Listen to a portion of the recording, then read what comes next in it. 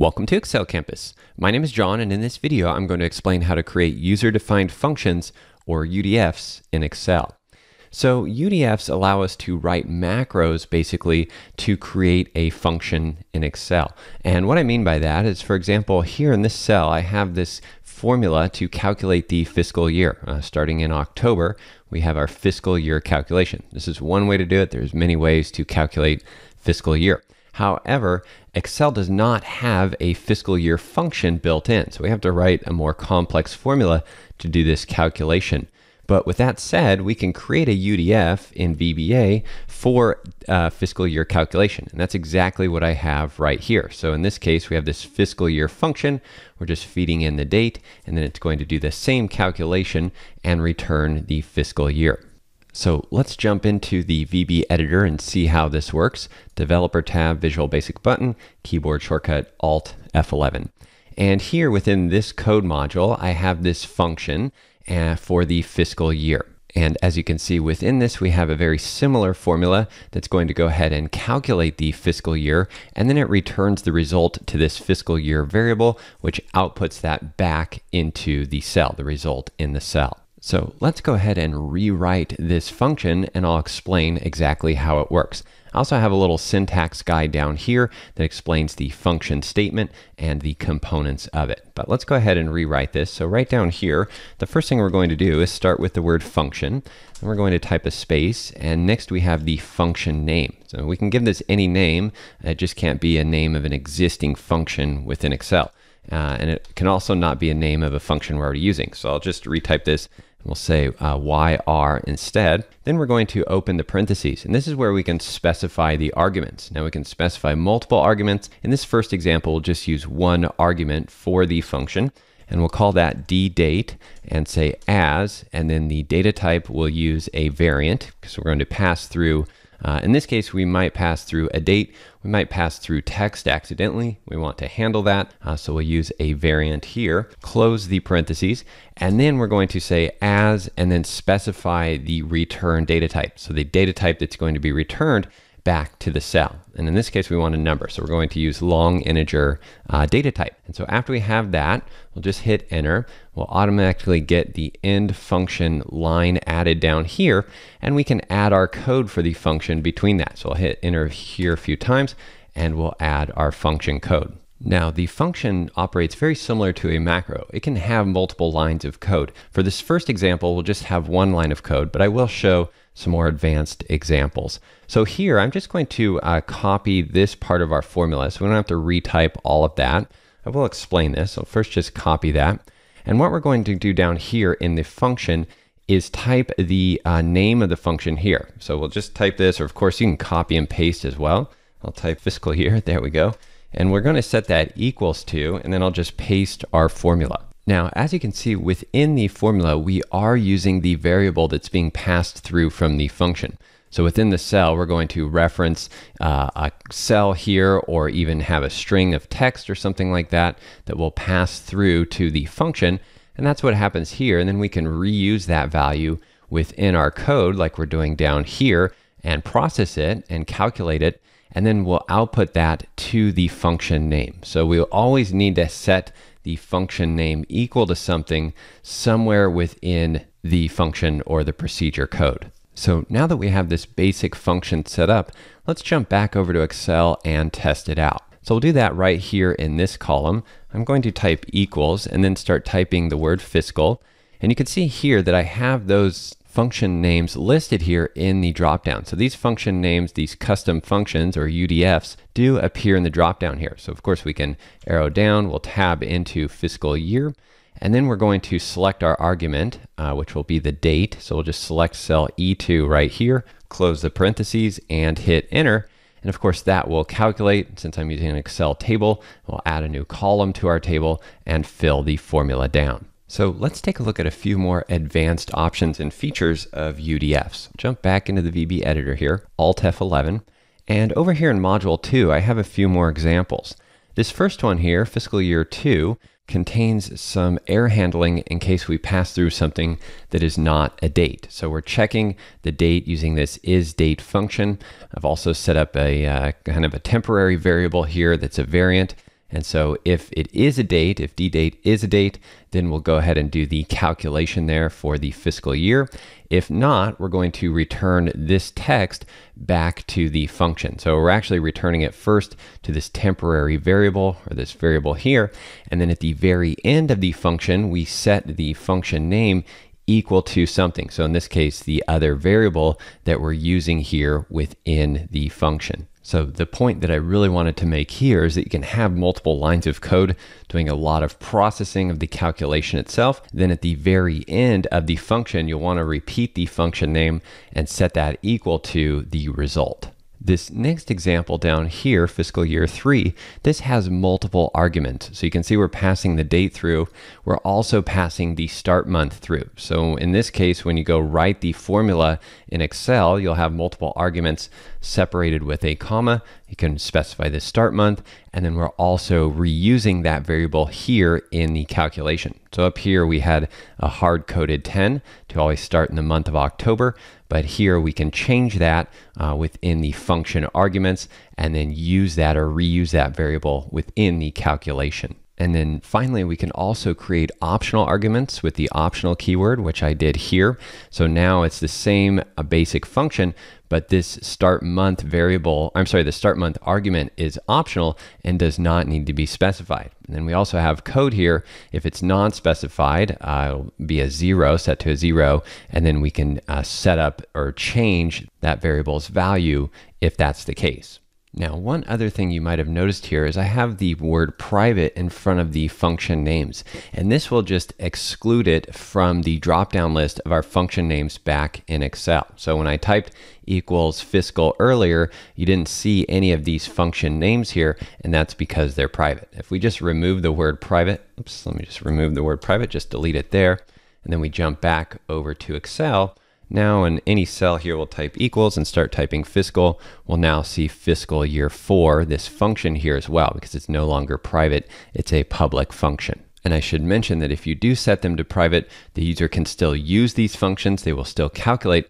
They will just not see them in the drop-down list here. I also wanted to share one quick tip for debugging your functions.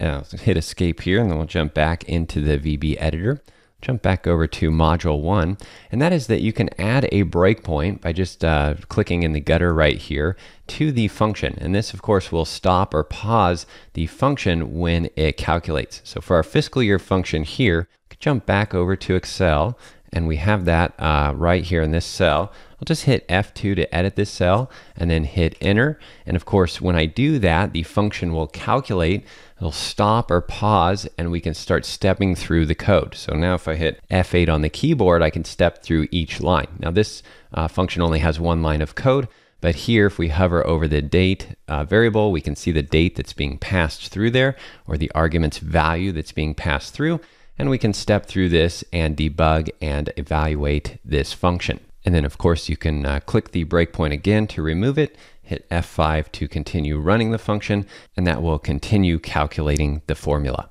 Next, I'll quickly talk about errors and formula errors. I won't go into this in too much detail, but if we jump back over here to Excel, uh, in this case, if we edit this formula here, and instead of referencing E2, let's reference a uh, cell that contains text, like this one, I'll now hit enter. And As we can see, we're getting this pound value error. And this happens when the function hits an error. So when an error is raised, I'll jump back over to VBA here uh, down here in this line, we'd hit an error because we're passing through text or a string to the month function and the year function. That's not going to work. So typically, if you were to run this code, you have an error raised in VBA, in the VB editor. However, uh, with UDFs in cells, it's not going to raise that error and show it to the user, but it is going to return this error back to the formula result. Now, there are a lot of different ways to handle these errors. It's probably a topic for a separate video training altogether. However, uh, in module two, I did show one possible solution here with fiscal year two. Uh, again, this checks if it is a date that's being passed through. If not, it's going to return this text to the cell, and that'll at least let the user know that they didn't specify a date for the argument, and then they can go fix the formula. Okay, so now let's look at some pros and cons of UDFs. We'll go ahead and start with the pros. And the first one is, is that we can use these to simplify complex formulas. So if your company, for example, is on a fiscal calendar, you might be copying this formula everywhere in different files, different workbooks and worksheets. And then, of course, you have to modify it and change the references and everything like that. And with other uh, fiscal year, month, quarter calculations, those calculations can be even more complex. So the UDF uh, functions can definitely simplify that. Here we can just use this function, reference the date, and we'll get the correct result. Another pro is that the UDFs can easily be copied to other workbooks. The code can be copied or imported into other workbooks. I'll talk a little bit more about that in the cons section because it does have some disadvantages as well. Uh, another pro is that we can do some more advanced error handling with the functions. So like we saw in that example, we could return something here if the user doesn't specify a date in the argument, we can return text that's a little more descriptive than the built-in error handling within Excel or those errors that are returned within Excel. And then another pro is that the function can be used um, and called from other macros. So we're not just limited to returning the results of the function to a cell within Excel. We can also write other macros within our projects and call these functions and then return the results to those macros. So the output can be in different places. It is not limited to a cell uh, or a formula within Excel.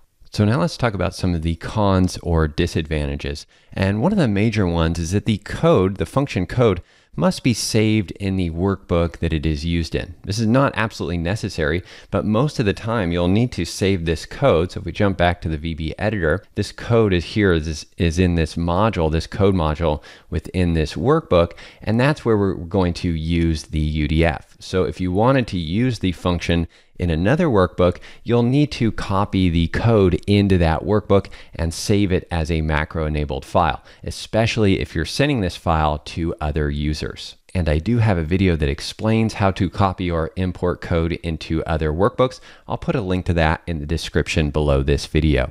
Now, with that said, you can store these functions in your personal macro workbook or in an add-in. I actually have it in my personal macro workbook here in this functions module. Uh, I believe it's down here at the bottom. I've I copied in this fiscal year function. When I do that though, and if I do this in, or I go back to Excel to write this formula, I'll need to reference uh, the name of the workbook. So personal.xlsb, then we have the exclamation mark, then the function name, fiscal year, and then we'll open the parentheses, reference the date there, close the parentheses and hit enter, that will calculate. But as you can see here, we have uh, quite a long reference here just to get our function name. So it's not as easy to call these if they're stored in your personal macro workbook, or if this is an add-in file, then you have the, need to have the name of the add-in here as well. So the advantage with this is that you can use this on any open workbook because the code's not stored in this workbook. It's stored in my personal macro workbook instead. The disadvantage is that you can't send this file to other users and expect this function to work. They'd either have to have the same exact function stored in their personal macro workbook, or they'd have to have the same add-in installed to call the function within any open workbook that they have. So again, if you are distributing the workbook to other users, the ideal solution or setup is to store the code within this workbook here, make it a .xlsm macro enabled workbook, and then send that workbook to uh, your other users. And then the final disadvantage is that we do not get the screen tip with the arguments. So what I mean by that is, again, I'll just start typing the formula here, uh, fiscal year. When we tab into that, we're not going to see the screen tip here with the arguments like we would with normal built-in functions in Excel. If we were just uh, exit out of them, maybe we say equals and do something like VLOOKUP and tab into that, we get this screen tip here that tells us what we need to specify within the function. So we don't get that with UDFs. There are some ways around that. And again, maybe I'll do another video that explains those, but we just don't get this nice screen tip here to let the user know what they need to specify within the UDF. So that's an overview of writing UDFs within Excel. Uh, they are a great tool, useful tool for simplifying formulas. They do have a lot of advantages as well. It's just good to know the pros and cons before you go implement this in any of your projects. So if you have any questions or additional suggestions about using UDFs, please leave a comment below. If you enjoyed that video, there are a few simple things you can do to help me out. If you are watching this video on YouTube, click the like button below the video and leave a comment with any questions or feedback. And please don't forget to subscribe to my free email newsletter to get more tips and tricks that will help you learn Excel. Thanks again for watching, and I'll see you soon.